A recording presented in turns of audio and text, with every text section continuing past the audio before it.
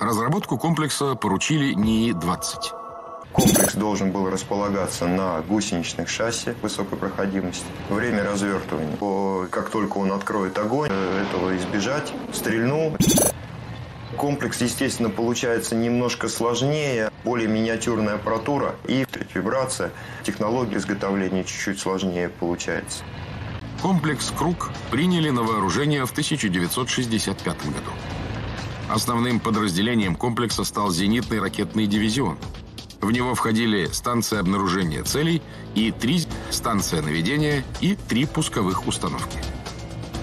Машины имели противопульную броню и оснащались системой противоатомной защиты.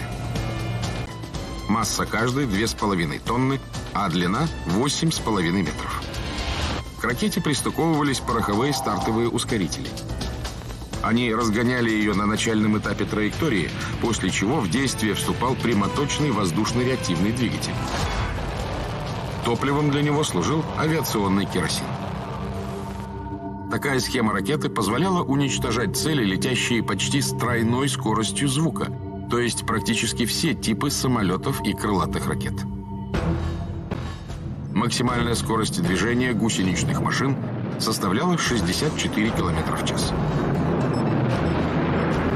Стартовые позиции пусковые установки занимали, как правило, схода. При этом время развертывания комплекса составляло всего 5 минут. Рабочее место командира дивизиона находилось вокруг размещались пусковые установки. Все сигналы боевого управления между элементами комплекса передавались по радиоканалам конкретной пусковой установки и конкретной ракеты. 11 и 12 готовы. Цель подходит к зоне пуска. Когда цель входила в зону поражения, командир батареи производил пуск. Сближение ракеты с целью и подрыв ракеты происходил после срабатывания неконтактного радиовзрывателя на расстоянии менее 50 метров от цели. процессе эксплуатации комплекс неоднократно модернизировался. В результате дальняя граница зоны поражения увеличилась до 50 километров, а нижняя граница уменьшилась до 150 метров. Комплекс «Круг» предназначался для защиты крупных воинских формирований фронтового значения, включая штабы и войсковой тыл.